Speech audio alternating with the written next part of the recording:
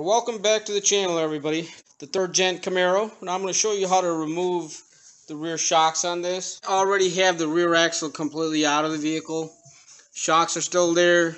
I have the bottom bolts out. So these are 21 millimeters. These are the first ones you want to undo. Um, either way it doesn't matter. You can do them from up top. Again these are 21 millimeters.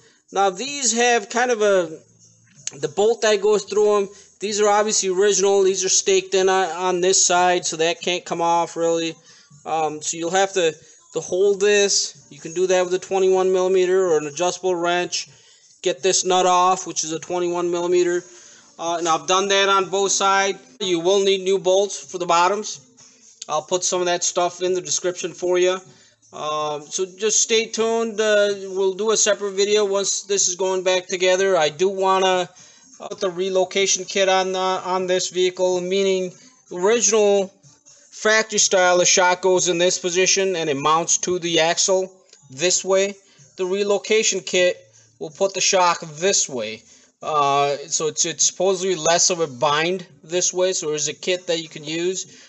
So stay tuned for that. We will be doing that, but let's get these removed. So obviously my axle is completely out. It's redone, painted, new lines on it, what have you. Everything has been done. So the bottom of the shocks actually mount to here, this way.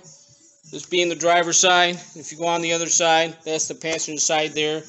Um, so we'll take a look at how to remove the upper bolts. So if you follow where they're mounted from the underneath and inside the vehicle, they're just about here. They're not underneath where this seatbelt mount is here. They're actually behind the seat. There's no trim that you need to remove or anything like that. Um, you don't need to remove the carpeting. You just got to pull some sides of the carpeting out to get to the upper bolts on these shocks. Now your Firebirds, third gen Camaros, they're both going to be the same way. So once you are inside, here's your back seat. The back of the rear seat is foldable, meaning it leans forward. So if you reach the sides of it, there is a lever. There's the same lever on the other side. Once you undo both of them, undo meaning pulling it towards you, both of them at the same time, the seat will fold forward. Just like so. So it'll fold all the way down, giving you access here the upper mounts are actually right under here. They're not under any of the trim. You don't need to remove any of the trim here. Remember, this piece of carpet in the back of the vehicle is separate piece from the front. Uh, so what you need to do is if you need to take a screwdriver or some type of a tool, kind of pull it away from underneath of the trim here. Once you do that, you're able to grab the bottom of it and and there's obviously padding underneath. And you can pull that away from there. Uh, there's a foam piece here in the corner. Once you remove that there is your upper shock bolt right here. So the 15 millimeter